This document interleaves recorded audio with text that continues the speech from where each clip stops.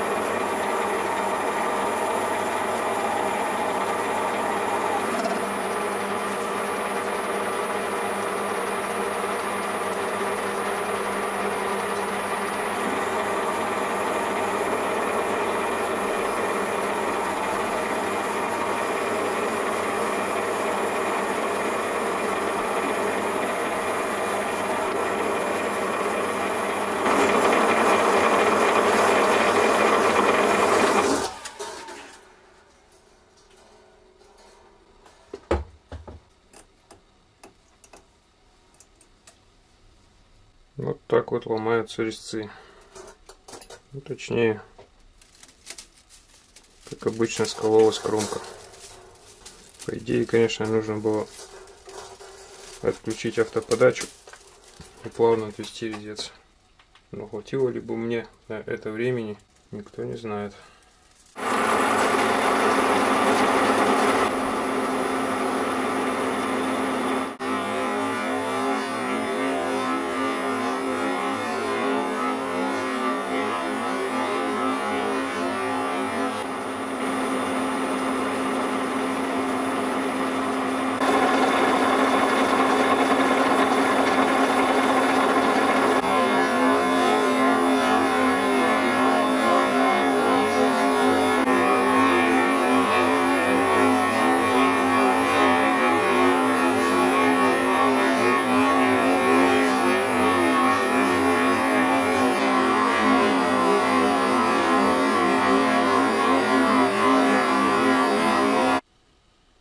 Покажу заодно самый опасный вид стружки, называемый ленточный.